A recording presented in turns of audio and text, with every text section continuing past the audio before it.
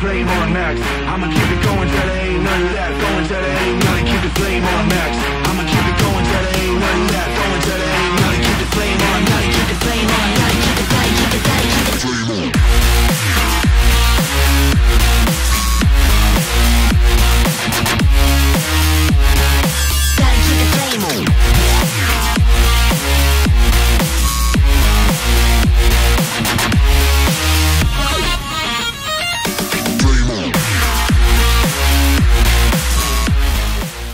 วัสดีครับคุณผู้ชมครับพบกันอีกเช่นเคยนะครับกับผมก๊อฟไม่กาโมโตครับผมอุ้มไม่กลับมาโตครับวันนี้นะครับมีของ rare item มานำเสนอให้กับคุณกับคุณผู้ชมอีกแล้วนะครับครับหลายๆ คนอาจจะเห็นว่าร้านเราเนี่ยขาย Toyota Crown เยอะเยอะใช่วันนี้ก็สรรหากันแบบเป็น rare item จริง rare มากต้องบอกว่ามันมีแค่ไม่กี่คันในเมืองไทยเท่านั้นนะครับใช่ครับกับเจ้าคันนี้นะครับเจ้า Toyota Crown Royal Saloon นะครับรหัสนี้ของเขาเขาเรียกว่ารหัส G ใช่แล้ว นะครับ รหัส G มันเป็นยังไงนะครับ อธิบายพอสังเขปก่อนนะครับ ครับ รหัส G ของเขาเนี่ย ตัวนี้เนี่ยเขาเรียกว่าเป็นตัวท็อปและเป็น limited ใช่ นะครับ ออปชันของเขาเนี่ยจะจัดมาให้เต็มกว่าตัวปกติใช่ครับ นะครับ และรหัส G ตัวนี้เนี่ยมันเป็นตัวฉลองครบรอบ 50 ปีของ Crown เขาด้วยนะครับ หรือจะมีชื่อเรียกอีกหนึ่งชื่อ ครับ เขาเรียกว่า Cloud Zero ใช่แล้ว ทำไมถึงเรียกว่า Zero เพราะว่ารูปร่างหน้าตาของเขาเนี่ยมันจะไม่เหลี่ยมเหมือนตัวรหัส JZS ใช่ครับ175 หรือตัวก่อนหน้านั้นแล้วใช่สังเกตดูนะครับเขาจะโค้งมนมีความโค้งมนใช่และโฉบเฉี่ยวครับรถคันนี้มีมูลลูฟมาให้ด้วยนะครับ เป็นรถปี 2006 ประวัติรถสวยงามแน่นอนดีแน่นอนไปชมครับกันเลยดีกว่าครับ มาครับ ผมครับจะพาคุณผู้ชมนะครับ มาชมกับเจ้าแรไอเทมคันนี้กันเลยนะครับครับ เริ่มจากกระจังหน้ากันเลย กระจังหน้านี่บอกเลยนะ เห็นไหมว่าดีไซน์ของเขาเนี่ยจะมีความเป็นวัยรุ่นมากยิ่งขึ้นนะ ใช่ ตามคอนเซ็ปต์ Zero ของเขาเลยก็คือนี่กระจังหน้าดูที่เป็นวัยรุ่นมากขึ้นนะครับผมกระจังหน้าสภาพเงาโครเมียมสวยงามนะครับ มาพร้อมโลโก้มงกุฎสไตล์ของโตโยต้าคาวเขานะครับมงกุฎสวยงามมากนะครับผมแล้วก็นี่สภาพกันชนหน้าบอกเลยว่าสวยงามมากนะครับครับเลนส์ไฟหน้าใสกริ๊บเลยแล้วนี่นะดีไซน์ใหม่ที่แบบโฉบเฉี่ยวมากยิ่งขึ้นนะครับบอกเลยว่า Crown คันนี้ดูสปอร์ตมากๆนะครับ reflector ข้างในโครเมียมไม่ลอกไฟตัดหมอกด้านล่างสภาพเงาสวยงามนะครับ ครับ นี่แก้มผมลืมบอกคุณผู้ชมไปครับขอนิดเดียวครับนะครับ รถคันนี้เนี่ยพอเป็นรหัส G ที่เป็น limited เนี่ยครับมือหนึ่งนะครับ5ล้านบาทใช่แล้วนะครับมันจะแพงกว่าตัวปกติเนี่ยไปเกือบ 2 ล้านนะ ใช่ แพงกว่ากันไปหลายบาทเลยนะ ใช่ล้อหน้าเป็นล้ออ่าของโตโยต้าคาวอันนี้นะครับผมมาพร้อมมงกุฎสีทองนี่สภาพสวยงามเลยนะครับครับและยางเป็นของโยโกฮาม่า BluEarth ด้วยนะ สภาพดอกยางนี่พร้อมใช้งานเลยครับครับนี่ไฟเลี้ยวด้านข้างตัวถังบอกเลยว่าเงางามสวยงามมากนะครับครับคิ้วโครเมียมด้านข้างแนบสนิทนะครับผมเงาวับเลยครับแล้วก็คาวคันนี้เขาเป็นรถที่เริ่มเทคโนโลยีใหม่แล้วอ่าเขาก็จะมี keyless มาให้ที่ประตูเลยเพียงคุณผู้ชมพกกุญแจไว้อ่าเราเปิดรถคล้องมือป้ายอ่าแค่นี้ก็เปิดรถได้เลย เวลาล็อกรถกด ปิ๊บปิ๊บอะแป๊บนึงครับ อ่า นี่ก็เรียบร้อยล็อกรถเรียบร้อยเลยก็ใช้งานได้ปกตินะ keyless สมเขากับเป็น luxury car จากแดนปลาดิบมากนะครับ เป็น luxury ต้องบอกว่าเป็น luxury ขั้นสุดของญี่ปุ่นเขาด้วยนะใช่เพราะโตโยต้าโตโยต้าคาวเขาเนี่ยคือตำนานแบบ luxury ของญี่ปุ่นเขาแบบสุดยอดอยู่แล้วนะใช่นี่ตัวคิ้วด้านหลังนะครับแนบสนิทสวยงามเช่นกันโครเมียมเงาวับสวยงามเช่นกันนะครับครับมือละอ่ามือเปิดด้านหลังก็ซึ่งเป็น keyless เหมือนกันนะแล้วก็แค่คล้องไป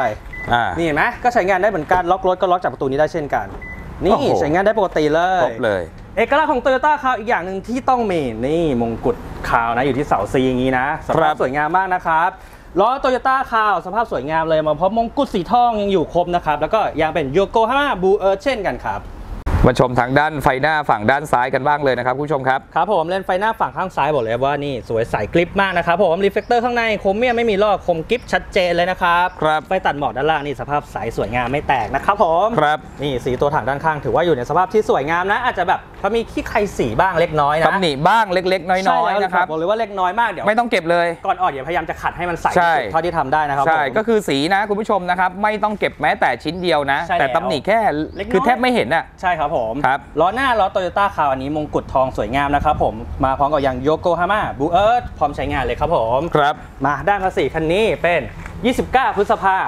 2565 ก็เดี๋ยวจัดการต่อให้นะครับผมครับของนะไม่ขาดแน่นอน ครับ นี่ด้านข้างนะครับไฟเลี้ยวใสสวยงาม คิ้วโครเมียมด้านข้าง แนบสนิทสวยงามเลยครับผม ครับ นี่มือเปิดที่เป็นอ่าตัวโครเมียมเงาสวยงามเช่นกันนะครับผม ครับ แล้วต้องขอขยายความนิดนึงคือโตโยต้านี้ที่เขาเรียกว่าเป็น nickname ของเขาคือโตโยต้าCrown Zero นะอ่าเพราะความว่า Zero ของเขาเนี่ยคือณวันนั้นเนี่ยด้วยความที่ว่าวิศวกรณวันนั้นเนี่ยเขาออกแบบมา Toyota c a r JZ S175 ที่เราขายกันบ่อยๆนะอ่ามันมันถึงเริ่มถึงจุดที่แบบว่า generation ณวันนั้นเขาเริ่มเปลี่ยนแล้วอ่าผู้คนเล่น Toyota c a r เนี่ยอายุอายุน้อยลงเรื่อยๆเรื่อยอ่าฮะๆเขาเลยต้องการให้เอาใจผู้อ่าผู้ใช้รถณวันนั้นอ่าให้มันดูสปอร์ตมากยิ่งขึ้น ให้ดูวัยรุ่นมากยิ่งขึ้นอ่าเขาก็เลยเป็นการเซตศูนย์เลยอ่าให้ Toyota c a r เนี่ยเป็นรถเจเนเรชันที่เป็นวัยรุ่นมากยิ่งขึ้นอ่าโดยการที่ออกแบบทุกอย่างเป็น all new หมดเลยนะ ก็คือจะมีความโค้งมนใช่มากขึ้นโค้งมนกว่าเดิมมากขึ้น แต่ยังคงความหรูหราและ luxury ไว้ และความ OR ใหญ่โตด้วยนะครับคุณผู้ชมใช่ดูดิครับผมก็นี่นะโอ้โหดูนะตัวถังใหญ่โตเบิ่มากเริ่มเลยนะครับเนี่ยใช่คือเขาไปเพิ่มมิติตัวถังห้องโดยสารเนี่ยใหญ่กว่าเดิมเข้าไปอีกใช่ด้วยเทคโนโลยีที่เขาออกแบบมานะ บอกเลยว่าดีมากนะครับคุณผู้ชมสังเกตดูตรงกระจกด้านหลังนะครับ ดูดิ ยาวยาวยาวมาก นะครับยาวเลยนะครับ ใช่ครับผมแล้วก็นี่เส้นคมสันตัวถังของเราสภาพสวยงามเลยนะครับ ด้านหลังคิ้วแนบสนิทสวยงามเช่นกันครับ ล้อโตโยต้าล้อโตโยต้า Crown ด้านหลังนะครับสภาพแบบนี้สวยงามเลยนะครับโลโก้มงกุฎทองอยู่ครบครับ ยางโยโกฮาม่า BluEarth พร้อมใช้งานนะครับผมแล้วก็นี่อ่าตัวมงกุฎทองตรงเสา C นะนี่ยังอยู่นะ สภาพทองสวยงามเลยครับ มาเดี๋ยวผมครับจะพาผมคุณผู้ชมนะครับ ไปชมบั้นท้ายงามๆและใหญ่โต OR สำหรับ Toyota Crown คันนี้นะครับ ใช่ครับ ต้องบอกว่าบั้นท้ายเขานี่ใหญ่โตอลังการมากนะ บอกครัเลยบว่าดูดีมากนะครับ ไฟท้ายฝั่งข้างซ้ายสภาพสวยใสเลยนะครับ ผมไม่มีแตกหักนะครับครับ Royal Saloon G อ่าอยู่ครบทุกตัวอักษรนะครับครับโลโก้โตโยต้าเงาสวยงามมือเปิดโครเมียมก็เงาสวยงามเช่นกันนะครับครับโลโก้โลโก้โตโยต้า Crown นี้ก็ยังอยู่ครบนะครับ สวยงามเลย แล้วก็ไฟท้ายสภาพสวยงามไม่มีแตกหักนะครับครับแล้วเขาได้เทคโนโลยีใหม่ๆที่เป็นแบบแบบเขาเรียกเป็นไฟ LED แล้วด้วยนะอ่ากลางคืนเปิดนี่ดูหรูหราดูดีมากๆนะครับ อีกอย่างหนึ่งของเจ้าคันนี้ก็คือเป็นท่อคู่แท้จากโรงงานนะ ซึ่งเขาจะออกเป็นซ้ายและขวานะ หล่อมาก ใช่ก็คือขับเดิมๆเนี้ยก็ดูดีอยู่แล้วก็ถ้าผู้ชมบางคนไปแต่ง VIP พอเป็นท่อคู่นี้ก็ดูหรูหราเข้าไปอีกนะครับ ใช่ครับ อะ เปิดฝาท้ายด้วยรีโมทนะครับ นี่ใช้งานได้ปกตินะครับผมอ่านี่มาดูเป็นไงห้องสัมภาระเขากันนะโล่งๆเลยสะอาดตามมาก นี่คือพรมเดิมจากโรงงานนะครับคุณผู้ชมครัใช่บแล้วครับผมก็นี่นะของเดิมเขาอยู่นะครับเบิดขึ้นมาแล้วก็วางของไว้อย่างนี้นี่ก็ยังอยู่นะครับครับตัวแผ่นพลาสติกที่ปิดยางอะไรอีกชั้นหนึ่งนะก็ยังอ่าอยู่นะครับผมตัวตัวบล็อกถอดล้อตัวขอลากรถก็ยังอยู่นะครับ ครับ นี่ดูยางอะไรเป็นไงอ่ายยางอะไรเดิมก็ยังอยู่นะแถมที่สำคัญ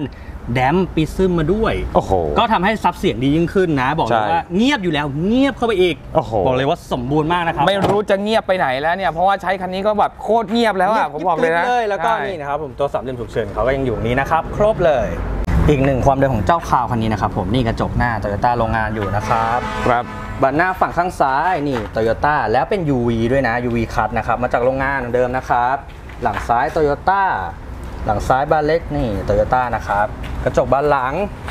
โตโยต้าแล้วก็มาหลังขวาบานเล็กนะครับ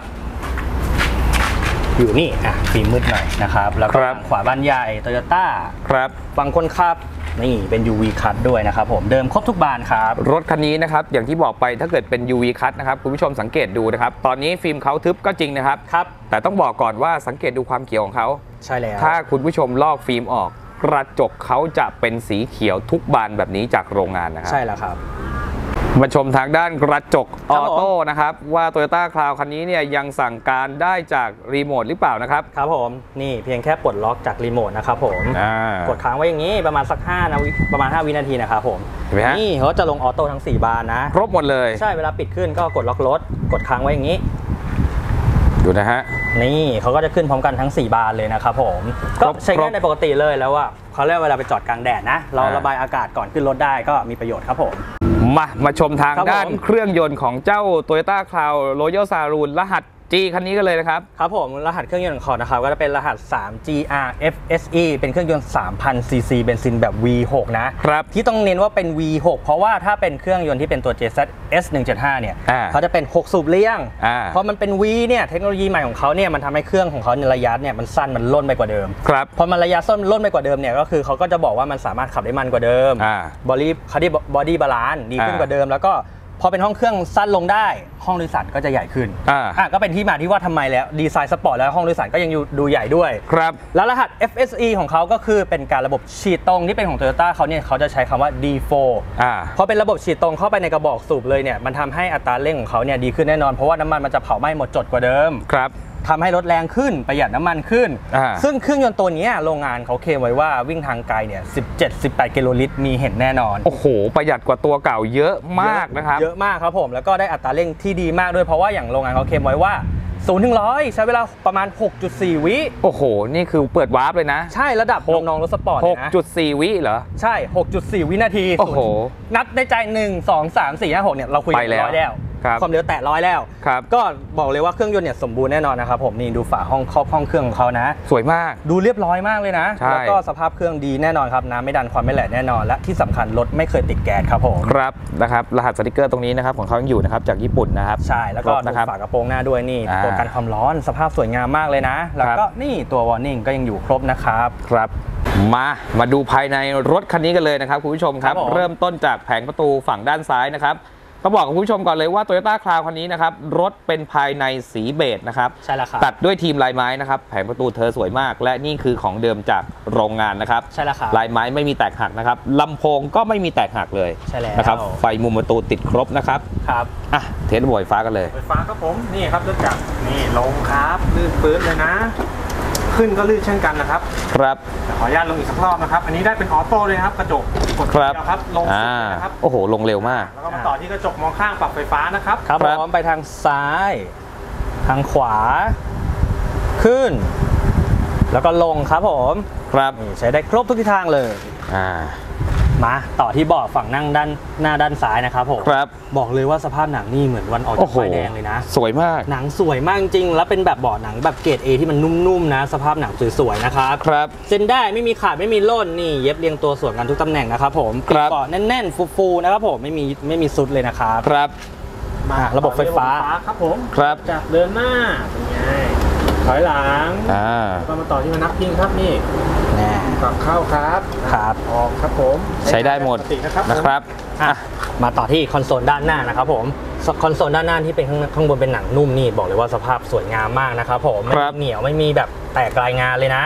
ลายไม้เงาวับสวยงามเลยนะครับผมแล้วก็ช่องแอร์ตรงซ้ายตรงกลางด้านขวาไม่มีแตกหักเลยนะครับและที่สำคัญ Toyota คาร์คันนี้เขาถึงจะดีไซน์ all new มาอ่า แต่เขาก็ไม่ทิ้งเอกเอกลักษณ์ของเขานะครับที่มีระบบสวิงด้วยกดแค่นี้เอง โอ้โห นี่ยังใช้งานได้ด้วยนะ ถ้าเป็น Crown ต้องมีนะครับ ใช่แล้วบอกว่าการนะที่ลมมันสวิงเนี่ยเวลาทำให้เรานั่งเนี่ยมันแบบ ผ่อนคลายนะเหมือนอยู่บ้านอะไรอย่างเงี้ยแต่ถ้าเกิดว่าคุณผู้ชมคนไหนไม่ชอบก็กดปิดได้ก็ปิดแค่นี้เองนี่ก็ไม่ต้องใช้งานก็ได้อ่าอ่ามาต่อที่คอนโซลบอกเลยว่าอลังการมากมีปุ่มจอเยอะแล้วแยะด้วยมากมายก็คือนี่นะครับผมอุณหภูมิฝั่งเนี้ยเขาจะแยกทางข้างซ้ายนี่นะอืมก็คือยังติดปกตินะแถบซ้ายอันนี้ไม่มีปุ่มไม่มีลอกเลยนะครับ ตรงกลางนี่ที่เราเปิดมันจะเป็นหน้าจอ Navigator อยู่นะครับครับกดปุ่มนี้ปุ๊บมันจะเป็นค่าสถานะของแอร์ครับก็ยังใช้งานได้ปกตินะครับผมแล้วก็ฝั่งนี้นี่จะเป็นอุณหภูมิฝั่งข้างขวาครับปุ่มเซตขวานี่ก็ไม่มีลอกเช่นกันนะครับผมสภาพสวยงามเลยครับมาพร้อมรถโตพร้อมพร้อมเตอร์ต้าขาวอันนี้นะครับ นี่ที่พี่ก๊อฟบอก 50 ปี anniversary โอ้โห นี่ไง ดูสิ นี่อยู่ตรงนี้เลยนี่นะสกรีนสวยงามเลยนะตัวครับบ่งผมบอกเขาเลยนะครับ ใช่แล้วครับผมแล้วก็ตัวนี้ที่เป็นอ่าที่เขี่ยบุหรี่ยังอยู่นะครับผมครับที่วางแก้วนี่ยังอยู่ครบนะครับครับปุ่ม traction ม่านหลังปุ่มระบบเกียร์ยังอยู่ครบ แล้วก็มีระบบเกียร์อัตโนอัตโนมัติอยู่นี้นะอ่าสภาพสวยงามเช่นกันเกียร์กลางผมบอกเลยว่าดีไซน์เขาสุดยอดมาก ขอดูสิ เปิดสไลด์อ่ามันก็เหมือนเก็บของได้ใช่ไหมอ่าเปล่าเลยนี่โอ้โห เป็นไง ยกเป็นสเต็ปได้อีก ยกเป็นสเต็ปมาเลย เหมือนเป็นการแบบเขาเรียกว่าเป็นชั้นวางของอย่างนี้ได้เลยนะ แล้วก็อ่าฮะเลื่อนออกมาอย่างนี้นี่ โอ้โห บอกเลยว่าสุดยอดดีไซน์มาก มาชมทางด้านแผงประตูฝั่งคนขับกันบ้างนะครับ ผู้ชมครับคแผรับงประตูฝั่งคนขับนะครับ สีเบจตัดด้วยทีมลายไม้นะครับ สวยงามมาก ใช่แล้วครับ นะครับ นี่คือแผงประตูเดิมทั้งหมดจากโรงงานนะครับ ใช่ครับ ลายไม้ไม่มีแตกหักนะครับ ปุ่มไม่มีลอกนะครับ ไฟมุมประตูติดครบนะครับคุณผู้ชมครับ ใช่แล้วครับ แผงลำโพงนะครับสวยงามนะครับไม่มีหักนะครับอะระบบไฟฟ้าครับนี่ลงก็ลื่นครับเป็นออโต้นะครับครับขึ้นก็ลื่นเช่นกันนะครับครับแล้วก็มาต่อที่กระจกมองข้างปรับไฟฟ้านะครับครับครับเริ่มจากขวาซ้ายซ้าย ขึ้น ลงแล้วก็ยังพับได้นะครับก๊อฟนี่โอ้โห ครบเลย นะครับฝั่งนะครับใช้งานได้ปกตินะครับผมและรถคันนี้นะครับมีระบบนะครับ Memory บอกมาด้วย เมมโมรี่มาให้เรียบร้อยนะครับคุณผู้ชมครับ อะเดี๋ยวให้น้องพันธุ์กดให้ดูเลยพี่กอล์ฟอะเดี๋ยวผมเซ็ตให้ดูเลยเตรียมไว้ก่อนนะครับนี่กดเซตนะครับแล้วก็กดที่เบาะอะนี่อ่ามีเสียงติ๊กโอ้โหข้างยาวมีเสียงนะครับติ๊กด้วย เตรียมไว้แล้วนะครับผมอ่า อะจำเบอกกับพวงมาลัยแบบนี้ไว้นะครับ น้องพันธุ์ปรับเบอกไฟฟ้าเลยครับ อะเริ่มจากเบาะไฟฟ้าครับนี่ เดินหน้าครับถอยหลัง ยกขึ้น ครับ ลงแล้ว ก็มาต่อที่พนักพิงครับนี่ครับอ่านี่ก็คือระบบไฟฟ้าใช้ได้ปกตินะมาครับให้ดูสภาพเบาะหนังก่อนเลยก็อ่าสภาพหนังนี่สวยงามนะครับผมปีกเบาะซ้าย ปีกเบาะขวานี่แน่นแน่นแน่นแบบไม่มีย่นนะครับผมครับเส้นได้สวยงามนะครับผมไม่มีปีกไม่มีขาดเลยนะครับครับอ่าเมื่อกี้ปรับเบาะไฟฟ้าไปแล้วนะอ่าพวงมาลัยนี่ลง ขึ้นโอ้โหเข้าอะเมื่อกี้เข้าอันนี้ออกไปนะครับอ่าอะลงเดี๋ยวลงให้ดูอีกที พันกดเลขหนึ่งเลยอ่า อันนี้คือเมมครับเห็นไหมฮะ เมมไว้เมื่อกี้นะครับเดี๋ยวผมจะกดให้ดูนะมันจะเข้าตำแหน่งเดิมกดเลยครับนี่ เห็นไหมฮะเข้าตำแหน่งเดิมหมดเลยนะครับ memory ใช้การได้ปกตินะครับ ใช่แล้วครับผมอ่ามาดูต่อกันที่สภาพพวงมาลัยเลยนะครับ ครับ ลายไม้บอกเลยว่าเงาสวยงามมากนะครับผมโลโอ้โหโก้มงกุฎทองนี่อยู่ครบสวยงามเลยนะครับพวงมาลัยเขาต้องบอกว่ามันโดดเด่นกว่าตัว JZS 175 มากนะ ใช่แล้วมันมีลายมงลายไม้มีปุ่มเปิ่ม ใช่ครับเทียบผมนี่สัญลักษณ์แอร์แบ็กอยู่ครบสวยงามนะครับ นี่มัลติฟัง c t ชันชัดทุกปุ่มเลยนะครับผมครับอ่าหน้าจอเรือนไมล์อันนี้นี่ใช่ไหมสภาพใสสวยงามเลยนะครับ เป็นคแบรับบหน้ามืดด้วยนะ บอกเลยว่าดูดีมากนะครับเลขไมค์คันนี้วิ่งมาเพียง 185,801 กิโลเท่านั้น ครับ บอกเลยว่ากิโลเมตรนี้แท้แน่นอนแท้ครับมีการันตีอใหม่ครับแน่นอนครับผม ครับ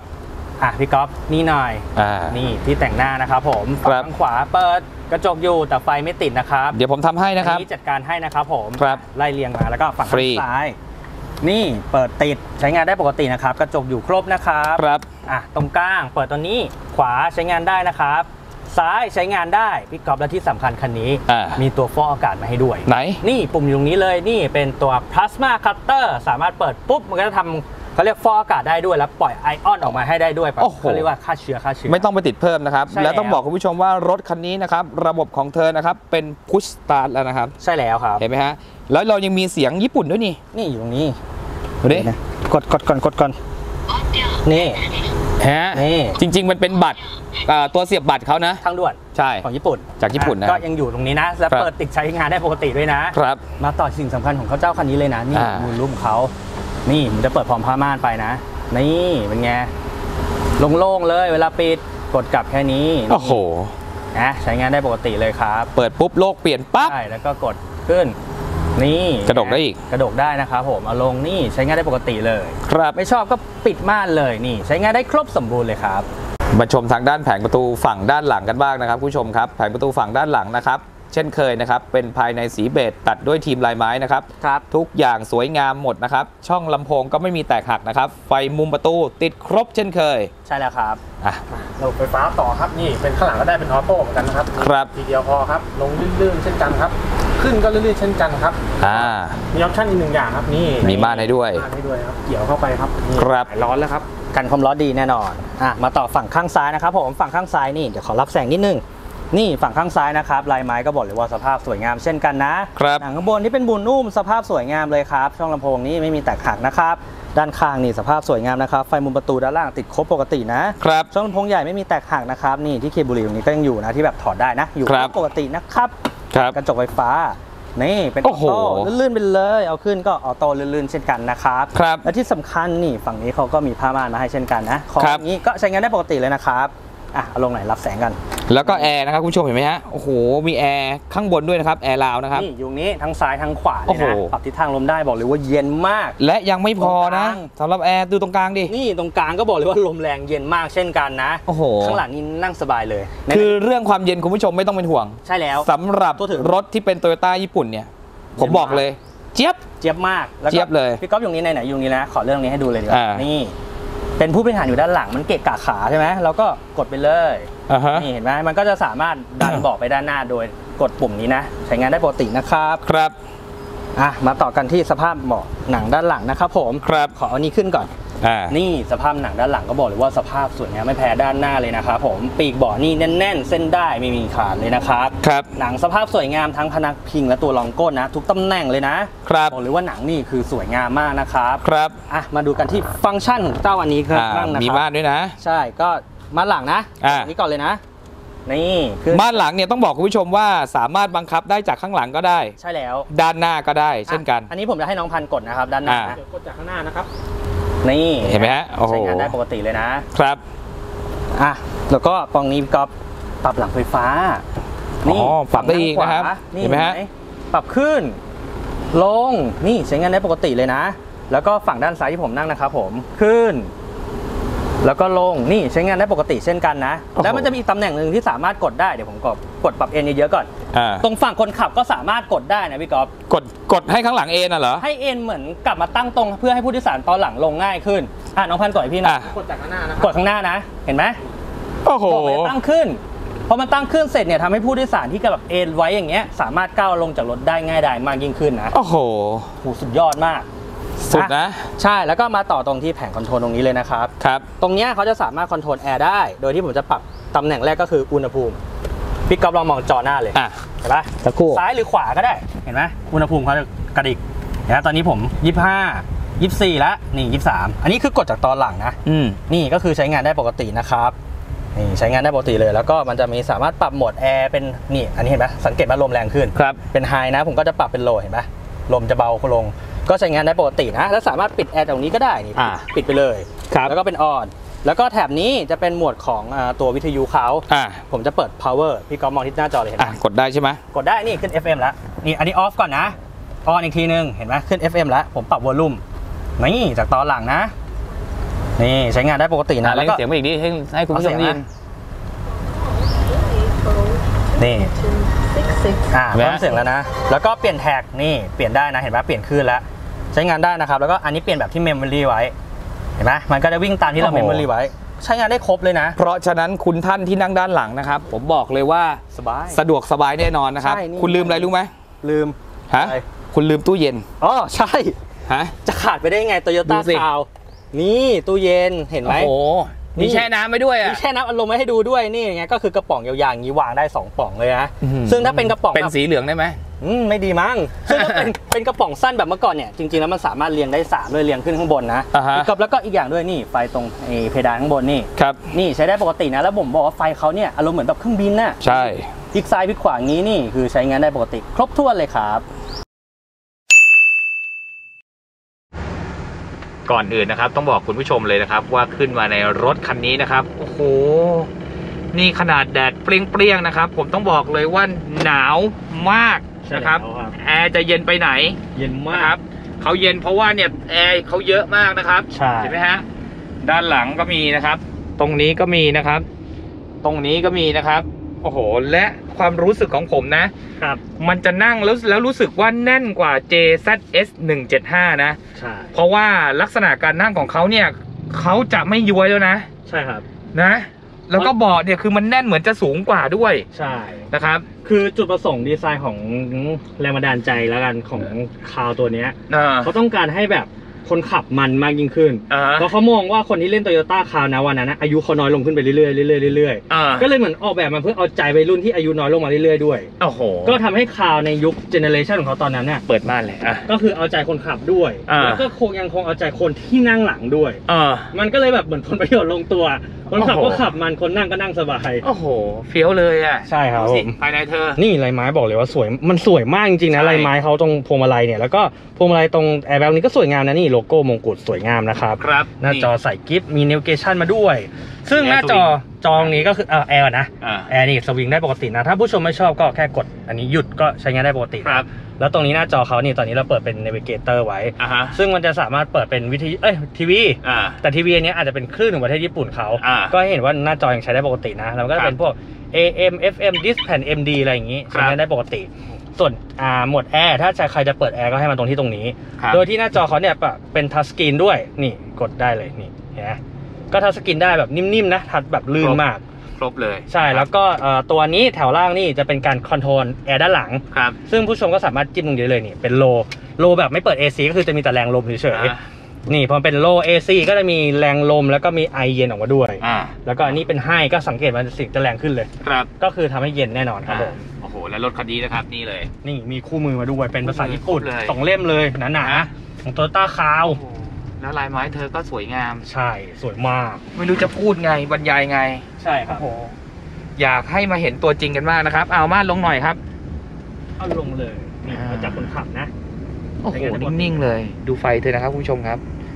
ดูผ้าหลังคาเธอนะครับคุณผู้ชมครับ สวยงามมาก โอ้โห สวยจริง ๆ นะครับ ใช่จัดไปหนึ่งสเต็ปรถไม่ติดแล้ว เฮ้ยโอ้ว้าวโอ้มันขึ้นนิ่มๆโอ้หลังติดเบาะเลยว่ะเดี๋ยวเดี๋ยวเดี๋ยวเดี๋ยวเดี๋ยวเดี๋ยวเดี๋ยวไอ้โอ้มโอ้โอ้โห เกือบร้อยยี่อุ้ยแป๊บเดียวเมื่อกี้เกือบร้อยยี่นะร้อยสิบกว่าพี่ โอ้โห แค่เนี้ย ระยะทางแค่เนี้ยแล้วเห็นไหมว่า มันมาแบบ แล้วคือวูบไปเลยอะคือมันหลังติดเบาะนะคุณผู้ชมแต่มันหลังติดเบาะแบบ ค่อยๆดึงแบบวิญญาณค่อยๆจะหลุดอะ เออ ตอบไม่ถูกอะ แล้วก็ซอยเนี้ยต้องบอกว่าซอยเนี้ยมันขู่ขามากนะ ใช่ เมื่อกี้บอกเลยว่านั่งปุยเมฆ ใช่ ไม่นี่รู้สึกเลย นี่ผมบอกนะ ผมพาเข้าถนนที่ซอยที่ เอออาเซียนเขาเรียกว่าถนนไม่ดี ใช่ นะครับ ไม่ดีเลยถนนเนี่ยเนี่ยเห็นไหมเนี่ยเป็นคลื่นหมดเลยเนี่ยเห็นไหมฮะเนี่ยเป็นแบบเนี่ยนี้เลยนะฮะนิ่มด้วย โอ้โหดูความนิ่มเขาดิ ใช้ได้ปกติแบบเขาเรียกช่วงล่างนี่คือดีมากนะเนี่ยพี่ครับพอสบายดูดิเนี่ยซ้ำอีก ดูดิ นิ่มนวลโอ้โห ใช้ได้ปกติแน่นอน แล้วก็เดี๋ยวสุดอะออกถนนใหญ่เดี๋ยวจะให้ดูอีกทีนึงก็คืออีก step หนึ่งของเขาก็คือตัว Tiptronic ครับ ก็ยังสามารถใช้งานได้นะเดี๋ยวครับ ออกถนนสักครู่หนึ่งโอ้โหวันเสาร์รถติดด้วยนะครับคุณผู้ชมครับ ใช่ครับผม ดูเธอสิอะ ก็เอาคร่าวๆเมื่อกี้ก่อนละกันที่กดมาในถนนมิกสักครู่นี้นะก็อ่า เครื่องยนต์เนี่ยปกติแน่นอน เพราะว่าระยะสั้นๆแค่นั้นน่ะครับผมชูดความเร็วขึ้นไปน่าจะไม่ถึง 40อะ30กว่าครับๆช่วงระยะเวลาสั้นๆแค่นั้นน่ะแล้วระยะทางสั้นแค่นั้นเนี่ยมันสี่สิบสามสิบกว่าๆนี่คืออะไรความเร็วที่ผมวิ่งตอนที่แบบคลอๆเมื่ออ๋อกี้ที่คอความเร็วไว้ ใช่ที่กอความเร็วไว้มีน่าจะประมาณ3ถึง40 แค่นั้นเองแล้วก็อ่า kick down พุ่งไปเลยเมื่อกี้ความระยะทางสั้นแค่นั้นน่ะหลักร้อยเมตรเองนะ อ่าเมื่อกี้มีเกือบร้อยยี่แล้วอะร้อยสิบกว่าเข้าไปแล้วอะโอ้โหแล้วขึ้นแบบนิ่มๆเลยนะก็คือเครื่องยนต์เนี่ยปกติสมบูรณ์แน่นอน ครับ ส่วนเกียร์เมื่อกี้ลากรอบสูงๆขนาดนั้นก็เปลี่ยนเกียร์เปลี่ยนนิ่มแน่นอนครับแล้วก็ตอนนี้เรามาขับกันที่รอบต่ำๆแล้วครับก็เปลี่ยนปกตินะอะถนนไหลแล้วก็ของที่ Tiptronic อ่าผลักขวาปุ๊บมันจะขึ้น S ก่อนก็คือเป็นโหมดสปอร์ตก็จะตอบสนองได้เร็วขึ้นลากรอบยาวขึ้นครับเดินลงก่อนก็จะเป็นทิทนิกตอนนี้คือเป็นสามนะครับสองหนึ่งนี่ผมที่หนึ่งนะโอ้โหยอุ้ย เห็นนะมันจะมันจะกอรอบไปให้ว้ายโอ้โหมันกระชากขนาดนี้เลยเหรอวะเนี่ย โอ้โหสุดยอดพี่ก๊อฟอันนี้ผมคาหนึ่งไว้อ่า เดี๋ยวเดี๋ยวขอหนึ่งเต็มที่อีกทีนึงอ่าเอ้ยโหกูว่ามันแรงกว่าเล็กซัสแล้วเนี่ย มันคนละเรื่องแล้วเนี่ย ก็ Tiptronic นี่เห็นไหมใช้งานได้ปกติ แล้วมีเกียร์ที่ผมเห็นไหมว่าผมกระแทกกระทันเกียร์ด้วย อ่า นิ่มไม่มีเสียงตึงตังไม่มีกึ้งป้างเลยช่วงล่างทุกอย่างแน่นหมดเลยครับ ไม่มีหลวมไม่มีคลอนแน่นอนครับ แล้วก็ feel ช่วงล่างหมดเลยนะว่ามันเป็นคาวที่นิ่มมากครับ แล้วก็ขับสปอร์ตมากขับมันมาก เป็นคาวที่นิ่มแล้วรู้สึกได้เลยว่าความเร็วสูงก็ยังคงหนึบอยู่แน่นอนโอ้โหไม่มีเสียงกุกกักผมเชื่อแล้วที่เขาเอาใจทั้งสองวัย นั่นก็คือวัยเขาเรียกว่าวัยผู้บริหารแล้วกันใช่กับวัยรุ่นกับวัยรุ่น เพราะว่ารถของเขานะเขาเสริมความแรงขึ้นมาอีกใช่นะครับโอ้โหแล้วความนั่งสบายนะ ผมพูดถึงคนนั่งนะคุณผู้ชมนะ นั่งสบายมากคุณผู้ชมดูเล็กลุมผมดินี่เหลือเยอะมากเลยนะครับเหลือเฟือเลยนะโอ้นะโหไขว่ห้างได้สบายครับคุณผู้ชมอ๋อทำมาได้ดีจริงใช่นะครับต้องนับถือวิศวกรในยุคนั้นจริงที่เขาแบบ อยากให้มีคงความคลาสสิกๆอ่าแต่ก็อยากเอาใจวัยรุ่นเออผลประโยชน์ลงตัวที่โตโยต้าคาวคันนี้เลย ครบเลยครบนี่ถ้วนเลยนะครับ เห็นไหมฮะแผงบังคับต่างๆนะครับ เมื่อกี้น้องอุ้มเทสไปให้ดูแล้วนะ ตู้เย็นยังคงมีมาเหมือนเดิมนะครับคุณผู้ชมเห็นไหมฮะพร้อมเลย ซื้อให้ทันนะครับคุณผู้ชมครับ ผมบอกเลยนะครับพลาดจากคันนี้ไม่มีอีกแล้วครับ สายไหมแน่นอนนะครับ เพราะว่าเป็นตัวฉลองครบรอบ 50 ปีนะครับ หายากแน่นอนใช่เลยเมื่อกี้ปิดรายการไปในช่วงทดลองครับ ครับไอเราสองคนก็ลืมครับคุณผู้ชมครับ นี่เลย นี่ มันคืออะไรรู้ไหมนะครับ แยกสองฝั่งนะ ซ้ายขวาเลย อุ่นอุนตูตูดนะครับคุณผู้ชมครับ เป็นเบาะอุ่นนะครับ ใช่แล้วครับ ใช้งานได้ทั้งสองฝั่งนะครับเขาจะค่อยๆอุ่นขึ้นมานะครับ ใช่แล้วคแล้รัวบถ้าเกิดกดปิดนะครับ กดออกแบบนี้กดออกแล้วก็หมุนกลับเลยหมุนกลับให้มันเข้าแก๊กจนไฟดับนะครับเหมือนกันสองข้างครับแรกเหมือนกันแล้วก็จริง ๆ แล้วอุนตูนเนี่ยไม่ได้มีแค่คู่หน้าอ่าคู่หลังก็มีใช่ซึ่งคู่หลังมันก็จะกดได้ตรงนี้เหมือนกันอ่ากดมีครบนะครับไฟติดเห็นไหมฮะเห็นไหมก็จะใช้ได้เหมือนกันนะแต่แค่ด้านหลังเนี่ยเขาจะไม่สามารถปรับระดับได้อ่า ลืมบอกคุณผู้ชมไปเลย อีกอย่างด้วยเป็นกอมิเกนอ่าเราไปโชว์ทิปโทนิกอะไรกันซะเยอะอ่าตรงเนี้ยมันจะมีโหมด power กับ snow มาด้วยอ่าอันนี้คืออยู่ที่ snow ซึ่งครับในเมืองญี่ปุ่นเขาเนี่ยเขาจะมีหิมะที่มันค่อนข้างลื่นอ่าซึ่งในบ้านเราสถานการณ์นั้นก็คือฝนตกอ่าแล้วผู้ชมอาจจะอยู่ในเขาหรืออะไรเงี้ยมันก็จะช่วยลดกำลังลงอ่าแทนที่ออกตัวด้วยเกียร์หนึ่งหรือสองมันอาจจะเป็น step เกียร์ที่สูงขึ้นไปอ่าเพื่อป้องกันการลื่นไถลอ่าแล้วมันก็จะมีเป็นโหมดธรรมดาก็คือไม่ได้โชว์อะไรก็ครับจะเป็นกับขับธรรมดา อยากซิ่งกด power เนี่ยมันครับมี ECT power ขึ้นตรงนี้ด้วย ใช่ ซึ่งมันก็จะแรงขึ้นแบบรู้สึกนะ เห็นได้ชัดครับ ใช่เห็นได้ชัดเลยว่ามันก็แรงขึ้นแบบอย่างตัว JZS 175เนี่ยที่ผมใช้อยู่ก็เห็นได้ชัดเลย เหมือนกดปุ่มเขาเรียกเหมือนกดปุ่มน็อตอะกดใช่ปุ่มพูดเลยถูกต้องนะครับ ใช้งานได้เลยและมันยังมีออปชันอีกหลายอย่าง แต่มันเป็นภาษาญี่ปุ่น ใช่ตรงนี้คุณผู้ชมลองไปเล่นกันเองแล้วกัน อะเอาคร่าวๆก่อนเออ กดให้ดูเนี่ยอะอันนี้ก็จะเป็นอันนี้ใช่ไหมอ่าเดี๋ยวนะอันนี้ก็จะเป็นแถบขึ้นมาอย่างนี้อ่ากับคาหน้าจออะไรอย่างนี้ ครับ อันนี้ก็จะเป็น navigator ครับ อันนี้ก็จะเป็นแบบน่าจะเป็นการปักหมุดกับใช่ เบอร์โทรอะไรอย่างนี้ นี่เข้า G ไป เขานี่นะครับ G ของเขาเนี่ยนี่คือเรดาร์ใช่ รถรู้สึกว่าจะจะกัดระยะในการแบกเบรกเองนะ ประมาณนั้นก็คือเป็นใช่เรดาร์คูดประมาณนั้นใช่ ซึ่งระบบพวกนี้ลองใช้เพิ่มไปเล่นกันเองใช่ นะครับ ตอนนี้ปวดหัวนะมันเยอะมากจริงนะครับคุณผู้ชมครับ ใช่เยอะมาก จนหลาย ๆ คนอาจจะ เดี๋ยวลูกค้าจะเบื่อ ใช่เห็นไหมมีเสียงญี่ปุ่นร้องมาเห็นไหมนี่นี่ แต่ทุกอย่างใช้งานได้นะครับใช่นี่ คุณผู้ชมลองไปเล่นกันดูให้ให้ดู power อีกทีนะอะเฮ้ยเฮ้ยดูดิเอ้ยพอแล้วพอแล้วพอแล้วพอแล้วพอแล้วโอ้โหดูดินี่คือยังไม่ได้คาดเบลต์นะลืมเลยอะ เป็นการทดสอบให้ดูว่าตัวเตือนก็ยังใช้ใช่ได้ปกตัวเตือนก็ยังใช้ได้ปกตินะครับอะหลายๆ คนถ้าเกิดว่าไม่เข้าใจตรงไหนนะครับ วันมารับรถนะครับ เดี๋ยวให้น้องอุ้มอยู่หน้างาน ได้ช่วยกันอีกทีแล้วกัน ก็แจ้งล่วงหน้ามานิดนึงละกันเพราะว่าปกติผมจะรับรถส่งรถอยู่ด้านนอก อ่า ก็แจ้งล่วงหน้ามาเดี๋ยวผมจะสแตนบายให้ก็ วันนี้ถ้าแบบขาดอะไรไปก็ขออภัยด้วยเพราะว่าออปชั่นมันเยอะมากจริง ครับ มันเยอะสุดๆคันนี้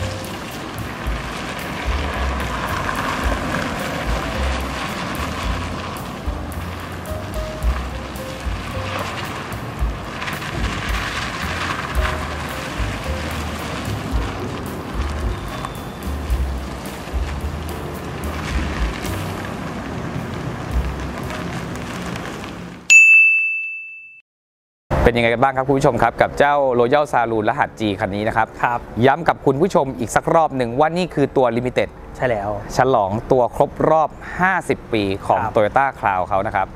รถคันนี้ออกป้ายแดงมา 5 ล้านบาท ใช่แล้วราคาจะแตกต่างกับตัวปกติเนี่ยเกือบ 2 ล้านบาท ใช่ ราคาที่เมกะให้กับคุณผู้ชมในวันนี้นะ ผมบอกเลยว่าถูกมาก หยเอาไปแค่สิบเท่า599,000 บาทพอไหม เป็นสิบเท่าเลยนะ เป็น 10 เท่าไหมจากหายไปเยอะ หายไปเยอะมากและจะต้องบอกคุณผู้ชมอีกอย่างหนึ่งว่า ถ้าเกิดมันพลาดจากรถคันนี้ไปแล้วเนี่ย ครับในเซกเมนต์ของตัว Limited 50 ปี ครับ ไม่ต้องโทรถามผมแล้ว ยาก โอกาสได้มาผมยากบอกเลยมาก ว่า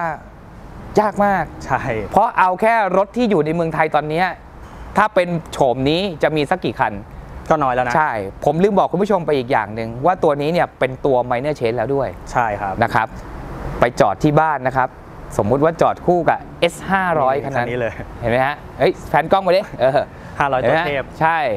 ถ้าจอดคู่กันนะ ผมบอกเลยว่าสุดครับสุดสุดแต่ยอดอันนี้เนี่ยเขาเรียกว่าดูดีมีสไตล์ไม่ซ้ำใครแน่นอนใช่ครับจัดไฟแนนซ์ได้อีกครับดาวเริ่มต้นที่ 99,000 บาทเท่านั้นครับผมอ่าก็อย่าลืมโทรกันเข้ามานะครับครับ ผมบอกว่าสายไหมอีกเช่นเคย แล้วพบกันใหม่คลิปหน้ากับไม่กลับมาโตครับครับ